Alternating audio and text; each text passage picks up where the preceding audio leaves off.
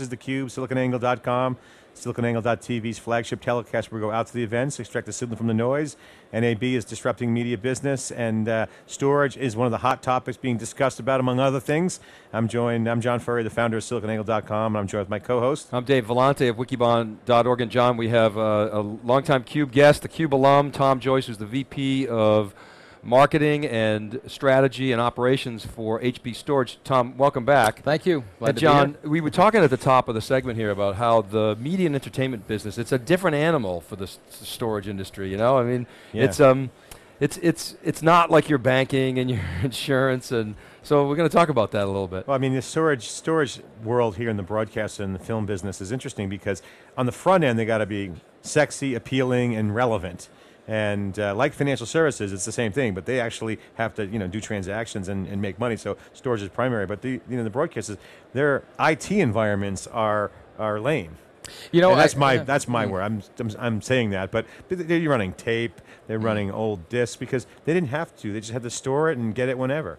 You know, it's an interesting. Uh, it's an interesting experience because I think you uh, you kind of see two kinds of customers. It's almost like there's two complete camps. One is very sexy front end and really archaic storage technology in the back end, and then you have some folks that are really pushing the envelope to the extent that.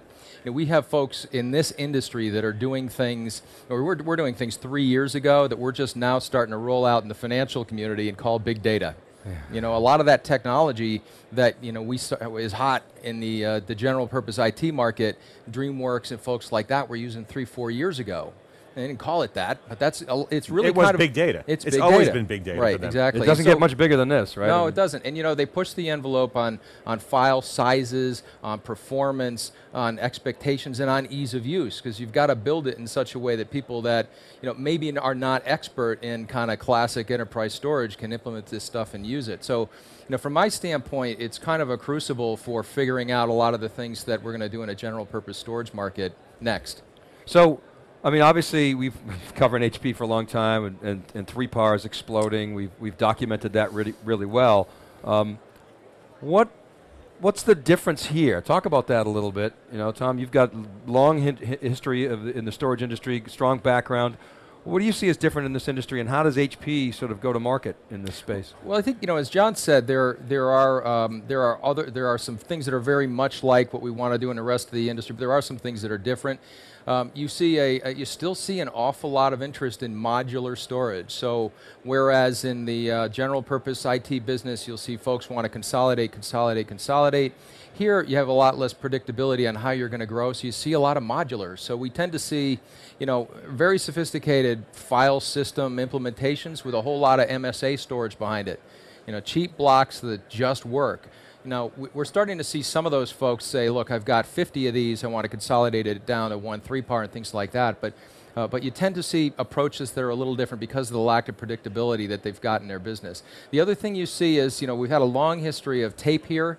Uh, and we're seeing tape grow in this business in a way that it's, you know, it's not growing in other parts of the market just because of the sheer cost of keeping everything. So I think in a prior segment you were talking about solid state disk. That's obviously an area that we're, we're investing a ton of money. It is the wave of the future in kind of every industry we talk about, but in this industry you see kind of combinations of a lot of solid state on the front end and a lot of tape on the back end. And so they're trying to get a mix of of cost and capacity and performance uh, that is, uh, you know, we might see that show up in some of the enterprise stuff or the cloud stuff a couple of years from now where, hey, I'm not going to have maybe as much spinning disk and a lot of flash and a lot of solid state, and maybe I'm going to have a lot of really, really cheap back end uh, storage. And you talk about file systems and tape, two things that drag along a lot of processes with them that have been around for a long time, and people just don't want to rip and replace those, do they?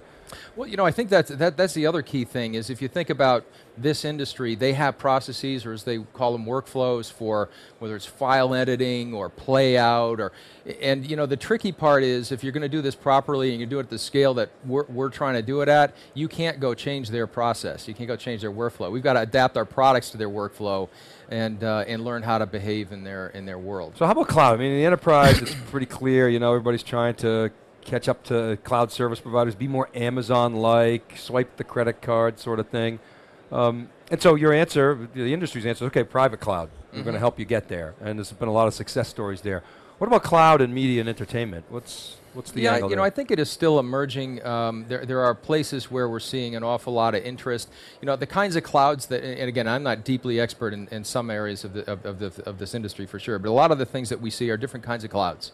So we'll see um, the need to actually put uh, large amounts of, um, uh, of, uh, of video data in certain geographical places so that it can be distributed. And the cost of, of distributing, you know, whether it's news or whether it's uh, entertainment, the, the amount of data that needs to be moved from place to place is large. So the ability to put kind of regional uh, clouds that allow you to kind of stop that data in, in the north, uh, uh, upper Midwestern market, the Northeast market, other parts of the world, is something that we're seeing start to emerge. So in that particular case, you know, the, it's a different set of use cases, and it's all about how do we distribute the data to the right place, you know, with the efficiency that we need, so that it's going to be sitting there uh, when it's required. So maybe we could talk a little bit outside the media and entertainment business, John, if it's okay for a minute, just to, because Tom, we had you on at the Project Voyager announcement. Right, yeah. You guys had this big channel uh, push. It was your partner conference. Right, You yeah. went basically all new logos or service through the channel.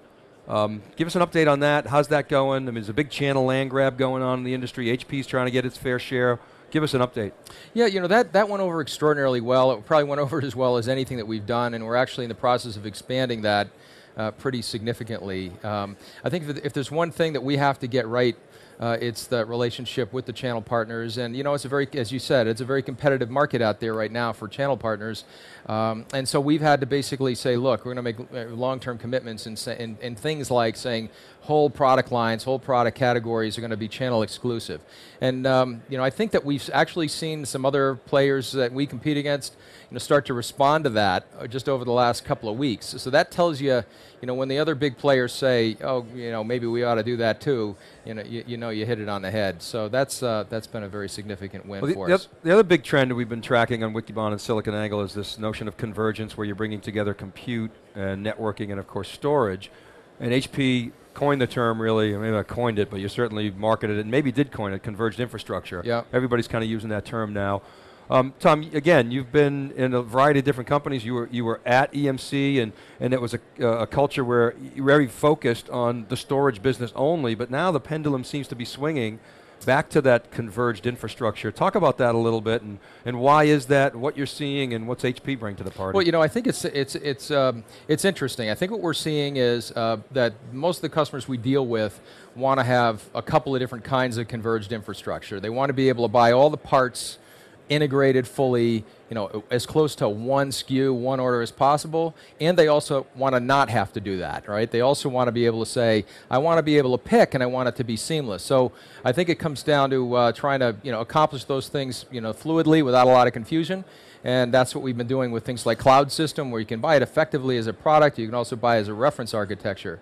Um, I think what's happening now is, you know, we're starting to push out into some other particular markets, and this one uh, is one. So if you take, you know, the uh, the digital TV playout application or workflow as an example, you know, up until now, you would have had to basically, if you were you know, building that system as a as a customer, assemble parts from a variety of different vendors.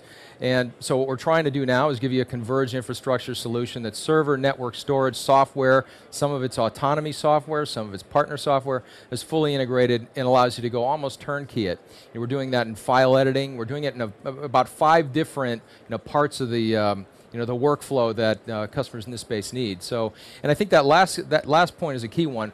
Now it's not just infrastructure; it's also software. So now that we've got autonomy on board, it gives us an ability to say, you know, we're going to take that one more step into the software part of that infrastructure. So I want to make sure I understand. You're saying the convergence trend is hitting the media and Absolutely. entertainment business, but maybe for different reasons. In the in the in the traditional commercial world, there's a lot of you know cl- supporting cloud infrastructure. Yep. Wh- what are the drivers here? Well, I think the drivers here again. If you if you look in in the rack of a digital TV.